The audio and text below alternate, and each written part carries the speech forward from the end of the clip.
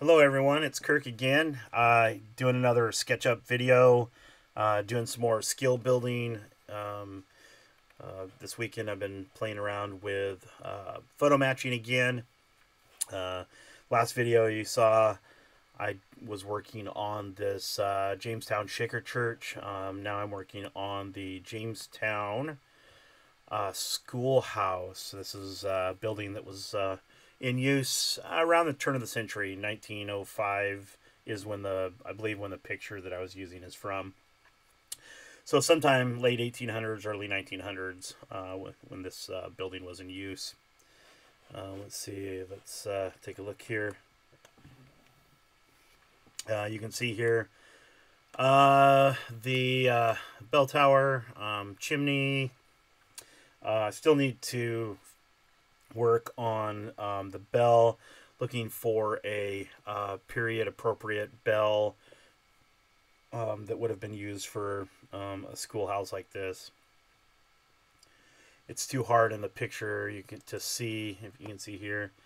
I can get a general sense of the type of bell, so I know roughly what type of bell they're using here, but I can't really see what bell it is and exactly how it's built. Uh, so I'm going to have to guess a little bit, but I'll work on a um, period appropriate um, style of bell that would have been used for a, a classroom um, uh, schoolhouse.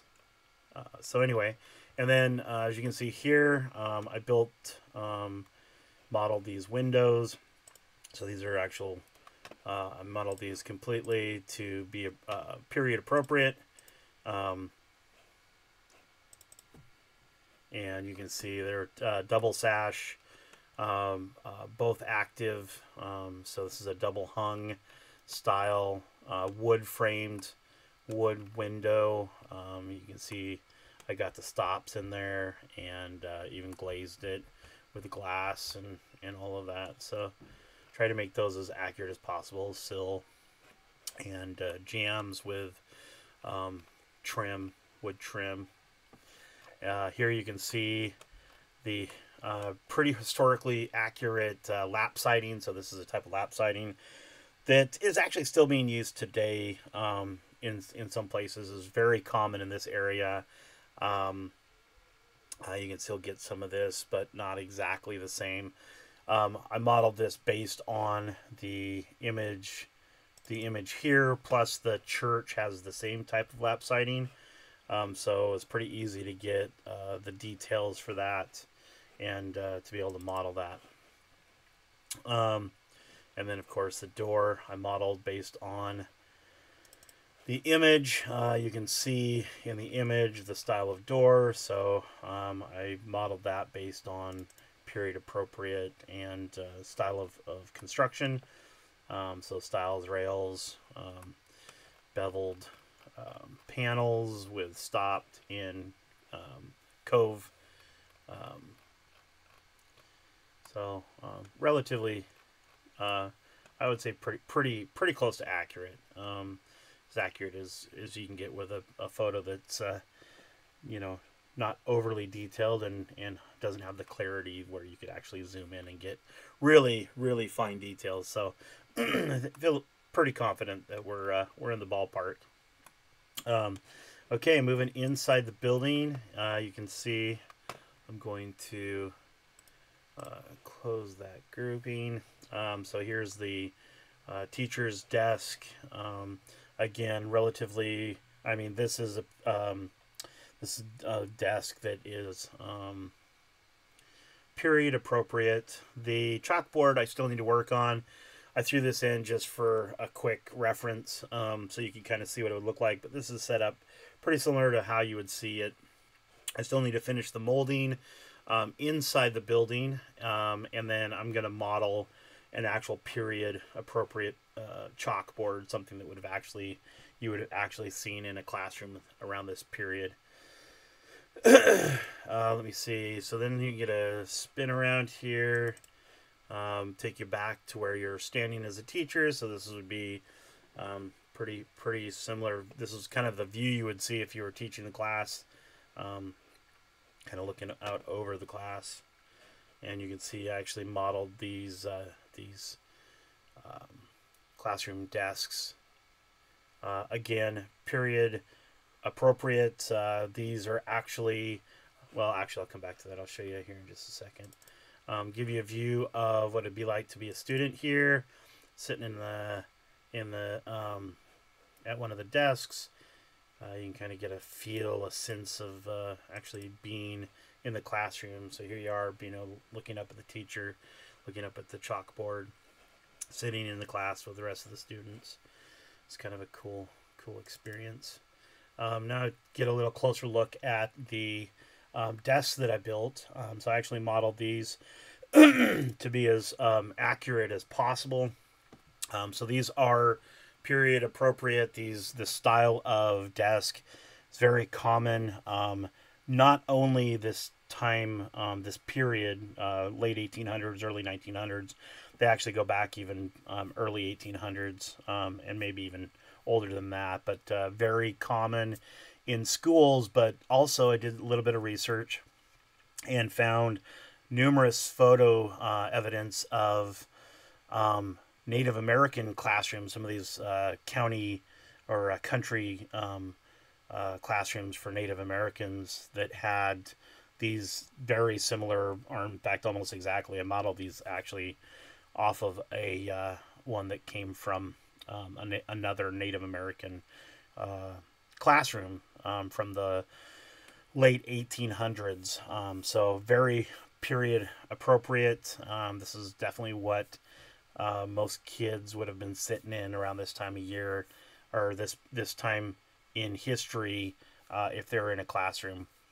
They were, you know, obviously a lot more ornate ones, um, uh, but I feel like this was probably pretty consistent and appropriate um, for this classroom. Um, and you can see that I modeled uh, with a cam and everything, so you can actually you see this this, this thing could as it's as it's designed here as I built it it it could actually function.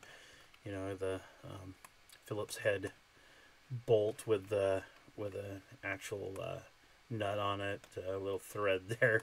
So got a little little extra this is um, you know these cast iron uh, these would have been cast um, and uh, this is kind of what they would have looked like so got the you put the little bolt hole for whether this would have been anchored to either a 2 by or directly to the floor depending on um, the classroom. Uh, was, from from the photos that I've seen, it's pretty common um, either or. They could have either been bolted directly to the floor or uh, to a 2 by where kids would have actually had to step over the little 2 bys uh, to and, and potentially trip. Um, I'm going to show you here that uh, you can actually this is kind of fun. Um, uh, let's see, I want to uh, open this up here. Oops, I'm going to close that again actually. Uh, I'm going to go redo and I'm going to open this.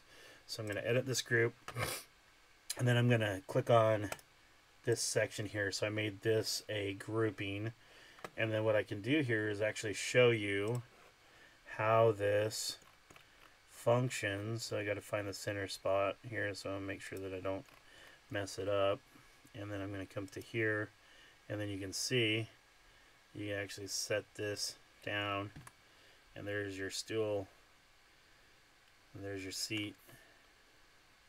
It's kind of cool. So spent a little bit of time working on that and then you can see here there's a little cubby where you put your schoolwork and your pencils and and uh, maybe your your sack lunch or whatever. It's kind of cool. It's a fun little, uh, fun little um, skill building session that I had. So, hope you enjoyed it. Um,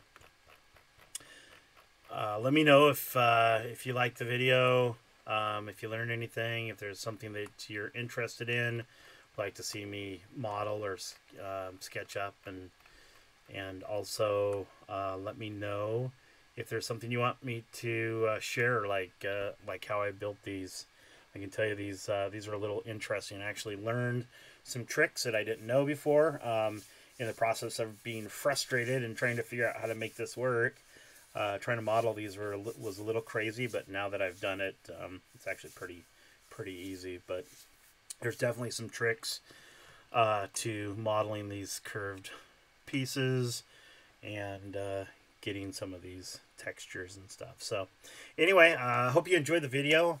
Uh, again, um, follow us, uh, follow me on LinkedIn, Instagram, Facebook, um, and then I will be posting this on our uh, YouTube channel as well.